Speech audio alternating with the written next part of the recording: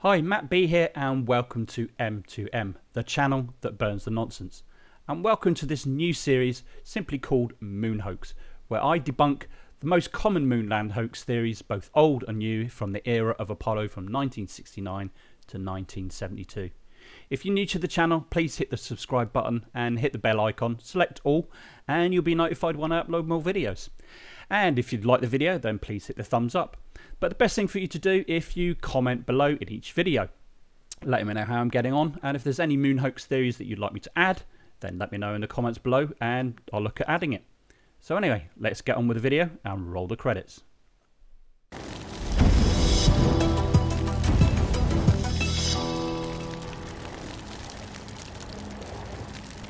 Number 3. Apollo 17 flag and Earth photo is photoshopped. Okay, so the claim is this iconic photo taken by Apollo 17 commander Gene Cernan of scientist astronaut Harrison Schmitt standing next to the US flag with the Earth in the background is photoshopped, and in particular, the Earth or even the whole photo is copy and pasted into a black background. First of all, let's point out the glaring obvious fact that these conspirators always seem to miss. Apollo 17 was in December of 1972. The first digital editing software that may have allowed this to be done wasn't developed until 1985, and Photoshop wasn't developed until 1987, a full 15 years after Apollo 17.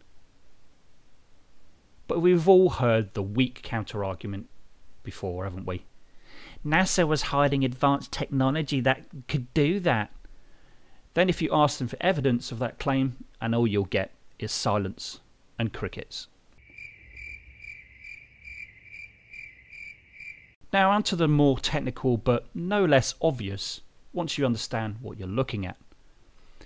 As this meme claims, this is the official NASA.gov image of AS 17 134 20384, and that's true. So if you go to nasa.gov website, search for the image,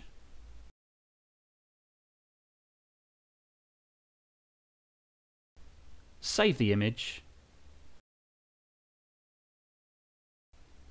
and the only option you have is to save the image as a JPEG. What's wrong with JPEG? Well, there's nothing wrong with it it has some very good uses.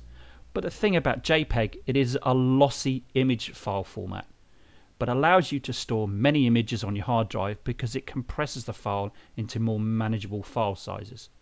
But this has an effect on the overall image quality. And this effect can be achieved by turning up some of the levels in Photoshop. So here I have a JPEG copy of the same image Look what happens when I turn up the color levels. The same effect as in the meme. Now when I take a file type of the same image, in this case it's TIFF or tagged image file format, which is popular among graphic artists because it's a lossless file format and doesn't compress the file. So when I do the same thing as I did with the JPEG, there are the some of the same there are there are some effects, but no effect on the pixels or image quality. If you'd like to hear more detail about JPEG and TIFF files, pop over to BertieSlack's video all about this, link in the description. As for you moon hoax conspirators, another silly theory burned.